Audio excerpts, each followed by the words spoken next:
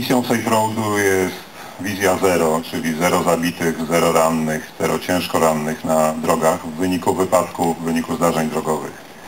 Oczywiście my zajmujemy się wyłącznie produkcją infrastruktury drogowej. Chcemy udowadniać takimi zdarzeniami, że poprzez stosowanie właściwej infrastruktury można redukować ilość zdarzeń i można redukować również cię- ciężkość zdarzeń drogowych.